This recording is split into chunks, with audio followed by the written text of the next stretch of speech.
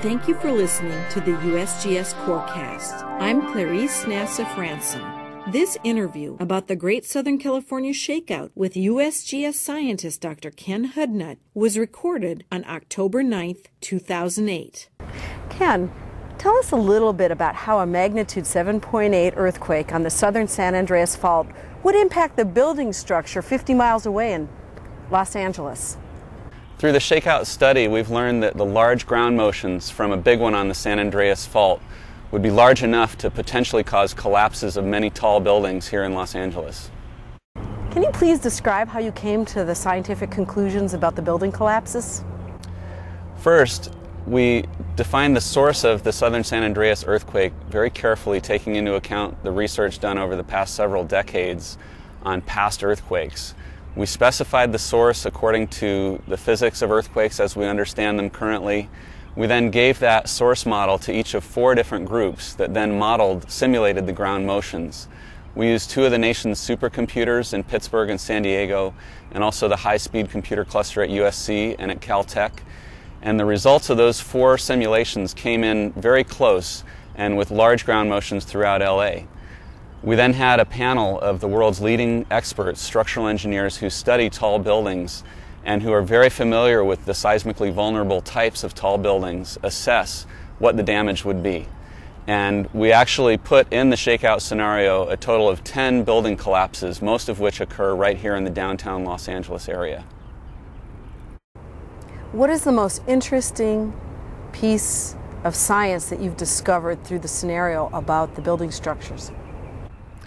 We set out in the shakeout study as one of our prime objectives to get a much more sure answer about the ground motions here in Los Angeles where we have tall buildings. And we've concluded through a very thorough investigation that the ground motions will be large enough to potentially cause collapses of tall buildings. We've seen around the world in other large earthquakes tall buildings collapse, older seismically vulnerable types, steel frames with brittle welds, and also reinforced concrete structures that just didn't use as much rebar as if it were built today. Ken, will you please describe the collaborative efforts that went on behind coming together on your conclusions? For Shakeout, for the first time, we went through a process of calculating the ground motions and then reviewing those with structural engineers that was really unique. And prior to this study, we had had different differences of opinion about what the ground motions would be and whether tall buildings might collapse. What we achieved here was a new level of understanding of the ground motions and also agreement with structural engineering experts that tall building collapses are quite a realistic possibility and a big one on the San Andreas.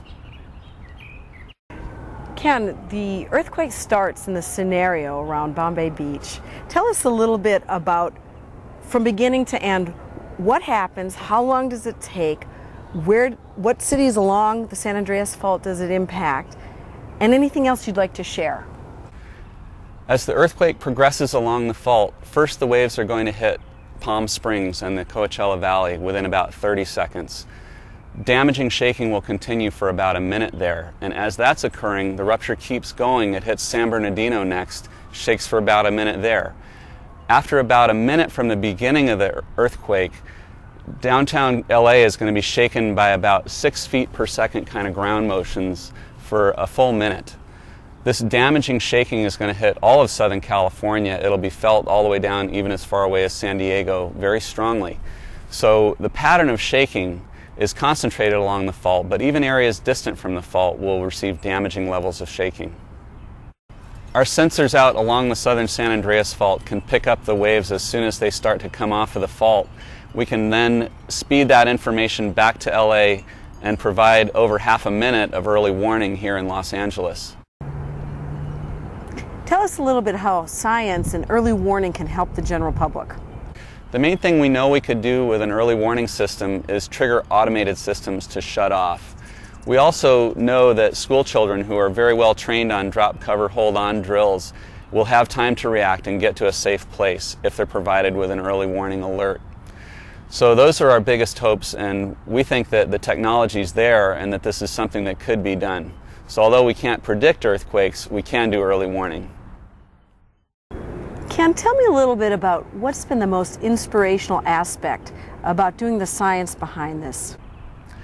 Really, it's been making that connection not only with emergency managers but also with lifeline utilities operators. We're having conversations now that we just never had before. It's the result of the shakeout exercise. We know that people are taking actions to make the lifelines more secure, to retrofit and to make Southern California safer for everybody in the event of a real earthquake.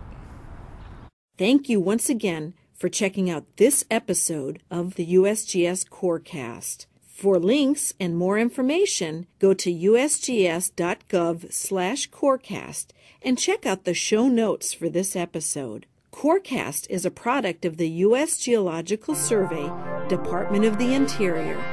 Until next time, I'm Clarice Nassif Ransom. Have a great day.